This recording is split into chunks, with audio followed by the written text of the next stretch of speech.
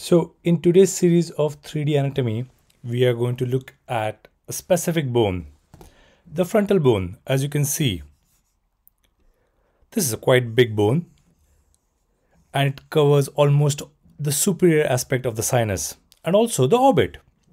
So if you see in broader term, frontal bone is divided into three parts. The big part is the squamous part. Then we have the nasal part over here. And the other thing that we have is the orbital part, which forms the roof of the orbit. Okay.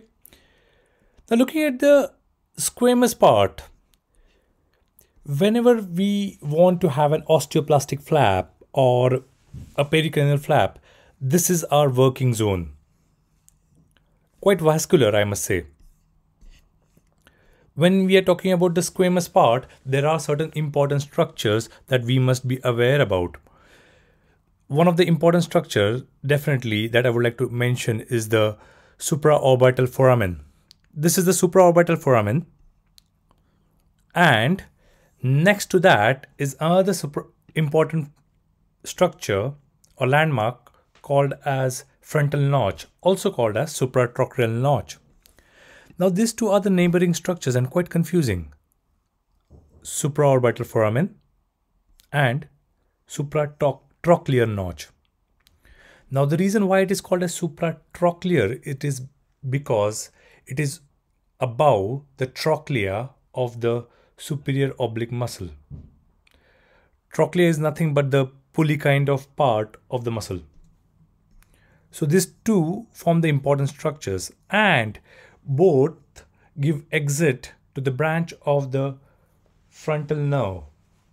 Okay, now frontal nerve is a branch of ophthalmic nerve that is V1 coming from trigeminal. So when the frontal nerve it divides into supraorbital and supratrochlear, trochlear, sorry, and they supply the forehead. So in case when you're planning to do any scalp lesion excision or do a trephine under local anesthesia or even under general anesthesia, it's nice to infiltrate this area. Okay, so that the whole area gets anesthetized. Now that we were talking about trephine, depending on the pneumatization of the frontal sinus, if it is a hypoplasia, a, we're just talking about, we are not talking about aplasia. So hypoplasia, normal sinus or extremely pneumatized. And if they have sinusitis we can get an easy access over here. So a couple of things that we need to understand. We can easily palpate the supratrochlear notch and medial to that around a centimeter we can get an access. It's necessary to have a good fine cut ct scan. And if you have an image guidance well and good you can drill straight into the sinus and give a couple of washes. So that's about the squamous part. Okay, now looking at the next area or the next part, orbital part. So if you see this is the orbital part of the frontal sinus, sorry, frontal bone, and which forms the roof of the orbit and the floor of the frontal sinus couple of important structures over here. They house uh, a lacrimal gland over here. Okay. As seen in the previous anatomy video, we have two important, very important structures opening foramen. One is for the anterior ethmoidal artery, which is anterior, and the other one is the posterior ethmoidal artery. So, while gaining control of the anterior ethmoidal artery or cauterizing it in case of bleeding, what we can do is after getting a nice incision, we have to hug the bone. We have to hug the bone or the frontal bone, the maxilla and the lac lacrimal, this is the lacrimal bone, and then get an access to the anterior ethmoidal artery. Use a ball probe. It's a very beautiful instrument or a sinus seeker which allows us to go under the vessel with it, without causing any trauma. that was the second part. Now, moving on the third, that is the nasal part.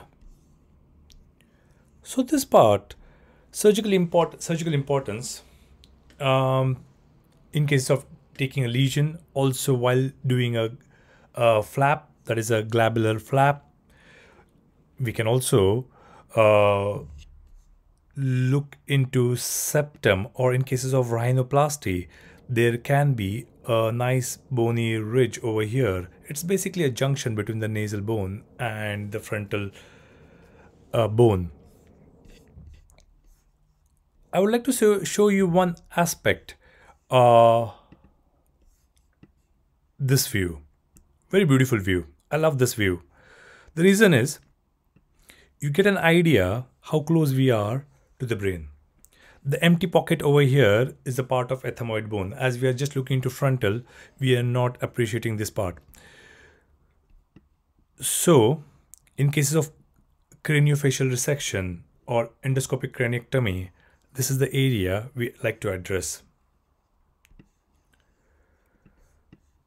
From an ENT perspective, we have two important things that is the supraorbital part and also doing trephine or local flaps, which we can take it from the forehead or skin lesion.